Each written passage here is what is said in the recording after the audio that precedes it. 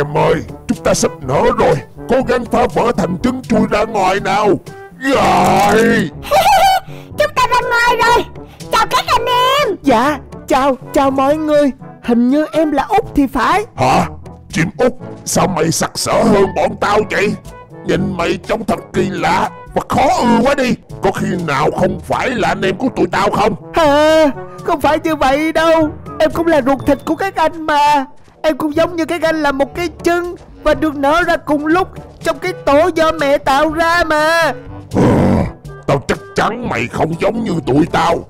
Có lẽ mày là sản phẩm vui chơi của một loài nào đó. Rồi bọn chúng ném mày vào đây. Không Không phải đâu Không phải đâu. Mày mau cút chỗ khác đi. Nếu không mẹ mày về tao mét mẹ. Mẹ sẽ xé xác mày ăn thịt đó. Được rồi Tôi đi à? Các em ơi Mau tập trung chống lại con khủng long đó đi. Nó định ăn thịt chúng ta đó. Là Là tiếng của mấy anh. Họ xảy ra chuyện gì nữa vậy? Cái gì nữa đi Mày không đi đi. Chúng tao không cần mày giúp đâu. Không Không. Dùng mấy anh không coi tôi là em Nhưng tôi luôn coi mấy anh là anh ruột của mình.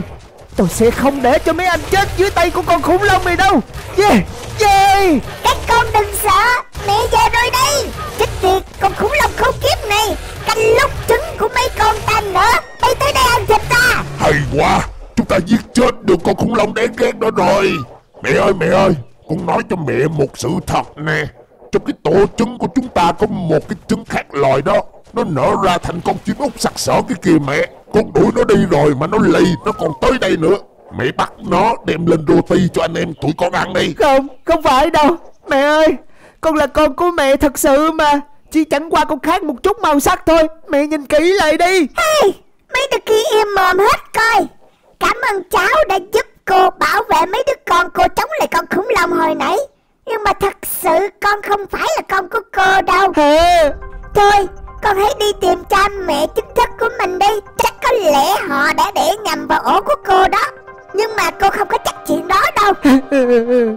Con biết rồi. Con chào cô.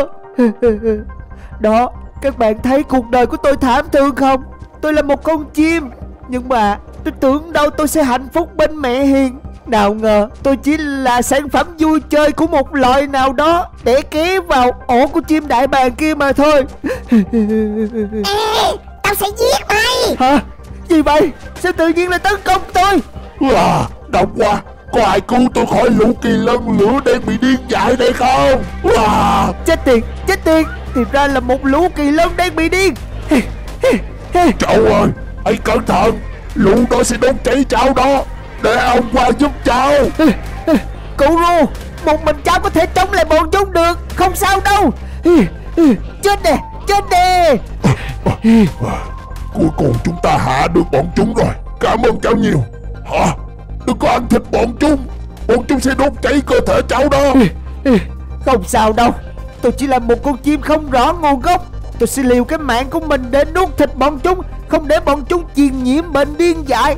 Đồng thời làm hại những sinh vật khác. Nếu tôi có chết Tôi vẫn cảm thấy mình có ích cho cuộc đời này. Hả?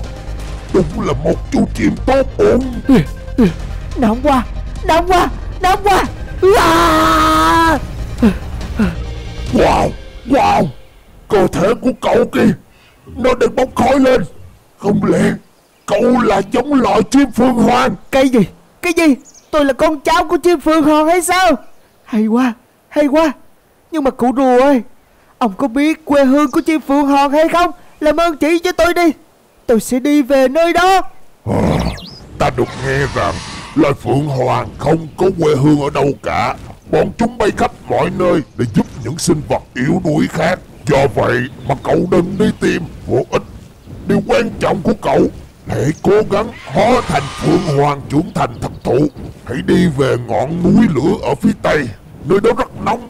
Lửa ở đó sẽ giúp cậu trở nên mạnh mẽ hơn, Đánh thức ngọn lửa máu trong người của mình. Vâng tôi biết rồi. Cảm ơn cụ rùa nhiều lắm. Thưa các bạn, Tôi đã liều mạng ăn những con kỳ lân lửa đó. Không ngờ thịt của bọn chúng không đốt cháy nội tạng của tôi, Mà lại giúp kích hoạt cơ thể tôi, Khiến tôi khai mở một khả năng tiềm ẩn. Do đó mà tôi biết được mình là ai Và tôi đến từ đâu. Và bây giờ tôi cần phải làm những gì? Thế là tôi cũng nhanh chóng cất đôi cánh của mình bay lên trên không Tiến về phía ngọn núi lửa ở phía tây Để dìm mình vào trong nham thạch. Hy vọng lửa đó sẽ tiếp tục kích hoạt khả năng tiềm ẩn đặc biệt trong cơ thể của tôi. Này Chú chim gì đó à? Làm ơn giúp tôi với. Tôi bị lạc đường. Tôi vừa đói vừa khát nữa. Hả? Là là một bà cô rắn hay sao? Trời đất ơi sao bà ấy lại bò đi đâu lên trên đây dữ vậy nè? Tôi đi hai năm mà bị lạc đường. Tôi đói quá. Cậu Cậu cho tôi ăn thịt cậu được không? Gì vậy? Gì vậy? Trời đất ơi con mụ rắn này lừa mình. Không Không. Ừ, ừ, Tránh xa tôi ra Tránh xa tôi ra. Mày chạy không thoát đâu. Hôm nay có bữa tối rồi. Không Không. Thoát rồi nhưng mà người mình bị trúng độc nặng rồi. Mình không thể nào bay được nữa. Đúng rồi, Ngọn núi lửa gần đây. Mình phải hò mình xuống nham thạch. Hy vọng lửa của nham thạch Sẽ giải độc cho mình, Giúp mình mạnh hơn. Các bạn à Lòng tốt của mình đã không đúng chỗ rồi. Mình mặc dù rất tốt, Nhưng chính lòng tốt lần này mém nữa hại mình. Nhưng mà sự kiên trì sự cố gắng Và mong muốn được sống của mình Không hề dập tắt. Thế là mình cũng đã từng bước từng bước Trong khi cơ thể vô cùng nhói đau, Tiến về phía trước. Thật may, miệng núi lửa cách đó không xa Và mình đã nhảy xuống. Cơ thể của tôi đã thay đổi rồi. Wow! Nhưng mà tại sao tôi lại không đạt được ngọn lửa máu giống như cụ rùa đã nói chứ? Nhưng mà khoan Dường như cơ thể của tôi có xuất hiện thêm hai thanh kiếm nữa thì phải. Wow, đẹp quá đi. Mặc dù không phải là ngọn lửa máu, Nhưng ngọn lửa xanh lên này cực kỳ sướng con mắt. Được rồi, tôi sẽ cố gắng thoát khỏi đây Và quay trở lại chỗ mấy con rắn hồi nãy cắn tôi đó. Cho bọn chúng một bài học. Kia kìa, Bọn chúng ở bên dưới kìa. Bọn chúng chắc thường ngày ở đây chuyên dụ dỗ sinh vật khác tới để ăn thịt. Hôm nay tôi sẽ cho bọn chúng đòn tụ với ông bà hết luôn. Wow Thật là mạnh Thật là lợi hại. Hay lắm Như vậy thì chắc chắn tôi nghĩ mình đã trở thành Phượng Hoàng trưởng thành rồi. Đến lúc tôi sẽ bắt chước loài Phượng Hoàng khác Bay khắp mọi nơi Và bảo vệ những sinh vật yếu đuối. Lũ ác ma các ngươi đừng hòng mở được cánh cửa địa ngục mà chui lên trần gian này. Ta sẽ ngăn cản các ngươi. Hả? Bên dưới có chuyện gì vậy? Wow Sao lại xuất hiện thêm hai con Phượng Hoàng trông rất là đẹp mắt? Một con màu trắng Một con màu đen. Ờ, Anh bạn Phượng Hoàng màu xanh ơi. Mau giết con Phượng Hoàng màu đen đi. Nó là ác ma đó. Nó đang chuẩn bị mở cánh cổng địa ngục. Mau ra tay đi. Không không Con Phượng Hoàng màu trắng mới là ác ma. Tôi với nó giao đấu nãy giờ đã mệt hết rồi. Hãy mau giết nó đi. Nếu không nó sẽ mở cánh cổng địa ngục Vô vàng yêu quái sẽ trồi lên trần gian Hả Rốt cuộc đâu mới là ác ma chứ. Phải tiêu diệt tên nào đây? Là tên Phượng Hoàng trắng đó. Nhanh lên. Nếu không không kịp đâu. Hả? Được rồi Được rồi. Chết đi ác ma. Không Không Tôi là Phượng Hoàng chính nghĩa mà. Kia mới là ác ma. À. Hả?